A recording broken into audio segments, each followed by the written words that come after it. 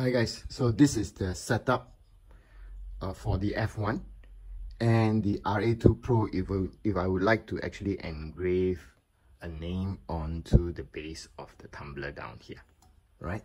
So I'm using the chuck, so and then I put it in and you actually level it. So you need to use the leveler, the leveler will be, this is the level, it actually comes with the RA2 Pro. So you actually level it to make sure that it's level, all right?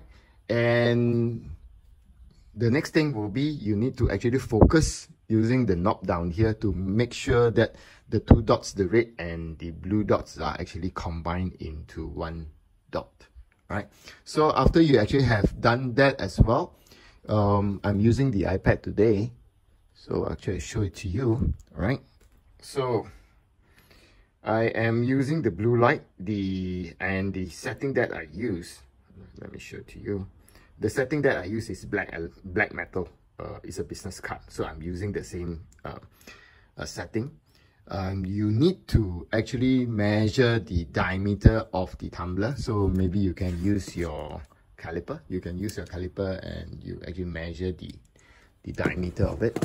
And then uh, what you need to do will be you need to fit it in. So for example this is a 70 mm so actually I put in the text uh, engraved by xTool uh, F1 with RA2 Pro right? So the next thing will be okay I will actually do the framing.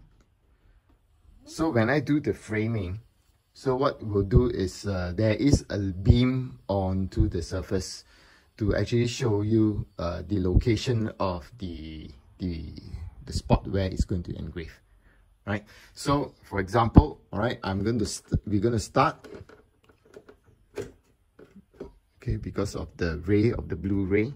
So the next thing will be I'm done with that. So I'm going to go into the process, the, the setting of this. Let me recap.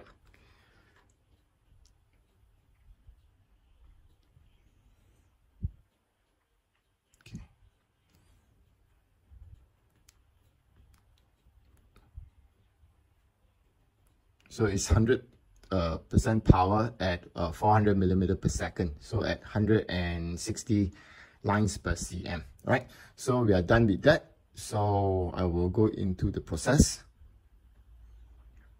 Okay, so this is the text that I'm going to do and I'm going to click the start.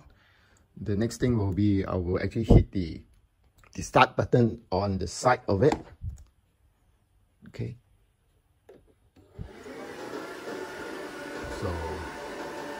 it's actually burning so let me